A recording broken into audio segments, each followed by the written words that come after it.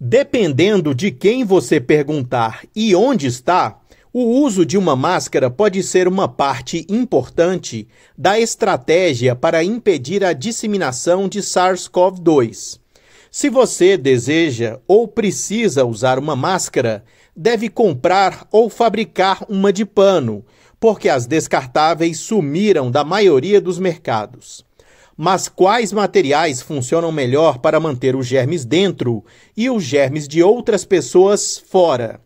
Pesquisadores do laboratório de Argonne e da Universidade de Chicago, nos Estados Unidos, pegaram uma variedade de materiais comuns e os testaram em condições de laboratório, investigando suas propriedades de filtragem mecânica e eletrostática a equipe descobriu que várias camadas e tecidos misturados funcionavam melhor para filtrar partículas, mas o ajuste inadequado da máscara pode arruinar tudo.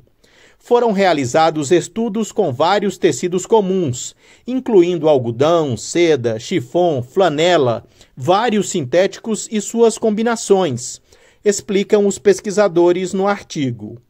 A equipe usou uma câmara de mistura de aerosóis para amostrar o número de partículas no ar. Eles passaram as partículas por cada um dos tecidos firmemente presos nas extremidades de um tubo de PVC e coletaram amostras do ar que passava pelo material.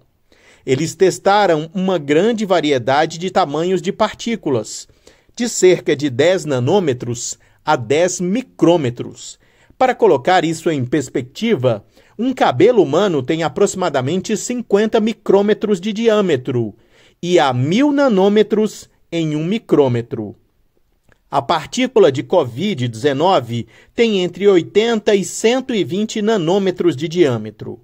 A equipe descobriu que os tecidos híbridos, também conhecidos como camadas múltiplas de materiais, eram capazes de filtrar a grande maioria das partículas a eficiência de filtragem dos híbridos, como algodão seda, algodão chifon, algodão flanela, foi maior que 80% para partículas menores que 300 nanômetros e maior que 90% para partículas maiores que 300 nanômetros, escreveram os pesquisadores.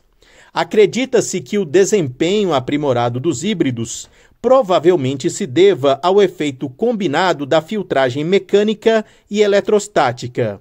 A filtragem mecânica é apenas o tecido que captura fisicamente as partículas.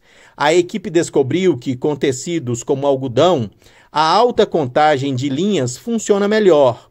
Quanto menores os orifícios, menos partículas grandes podem escapar. A filtragem eletrostática é um pouco diferente. Pense em um material superestático, como o poliéster.